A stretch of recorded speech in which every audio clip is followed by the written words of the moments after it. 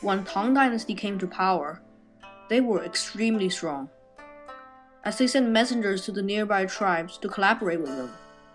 The economy and military strength rose at a rapid speed. Li Yuan, also known as Emperor Taizong, ruled with an iron fist. But however, one problem confuses him. You see, Li Yuan's getting old, and he hasn't really found himself a successor. He has four sons. The third prince died at a young age. His oldest son, Li Jiancheng, was promoted as crown prince. His second son, also the smartest, Li Shimin, was promoted as prince of Qin. And his youngest, Li Yuanji, was promoted as prince of Qi. Li Yuanji and Li Jiancheng hated Li Shimin, mainly because of his mad skills in the military and his IQ level. A friend of a friend is a friend. An enemy of an enemy is a friend. So Li Jiancheng and Li Yuanji became friends. They collaborated many times, one time even planning to kill Li Shimin. Now, you might think, two against one is obviously a match winning advantage for this side, right? Wrong. Li Shimin was way smarter than both of them plus together. In fact, they were both pretty stupid and Li Shimin got support from Qin Qiong and Wei Shijingde, two of the most fierce warriors at the time. Li Shimin also saw those two people planning. They wanted to assassinate him at the Xuanwu Gate. And Li Shimin saw through all of this.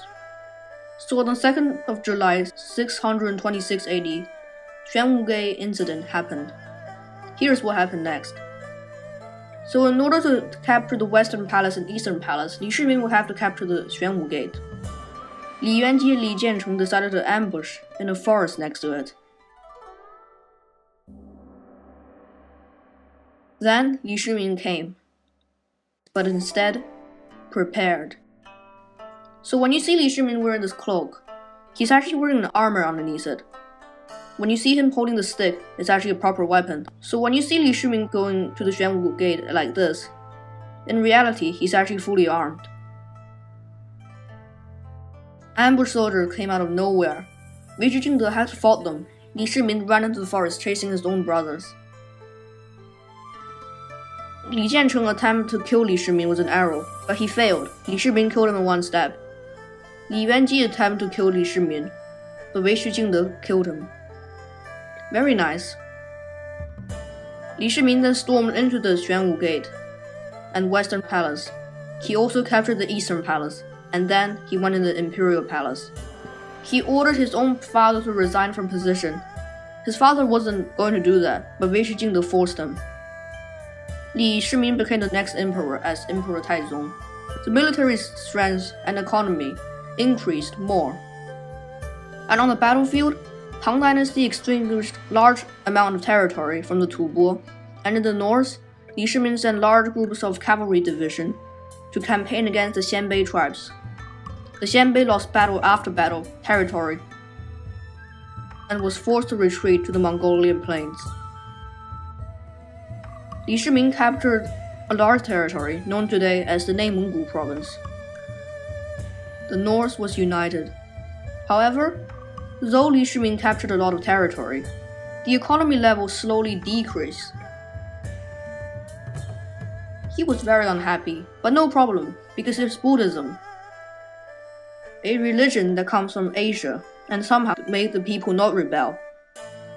So Emperor Taizong sent a Buddhism lover Xuanzang to the far west, known as Tianzhu, or India today. Xuanzang departed in the year 630 and arrived at Lanzhou in a month, and then cross the border in a month, arriving at the Fire Mountains, and then arriving at Uzbekistan. It seems that Xuanzang is going all the way to Moscow. But not really, he's just avoiding the evil Himalaya mountains. At last, he was there, at Tianzhu. There, he learned how to be a proper monk. After three years of education, he said goodbye to his students and left, arriving at Chang'an. He was greeted by Emperor Taizong himself. There, he spread the arts of Buddhism. He said to his students, I would rather die going to the west than live by staying in the east. The economy level made a slow recovery. But sadly, that month, Wei Shijing and Qin Qiong both died. Emperor Taizong died as well. The Golden Age period would end right there, because Emperor Taizong's son, Emperor Gaozong, wasn't as smart as him. And there was also a threat. Not an enemy, but this time, a woman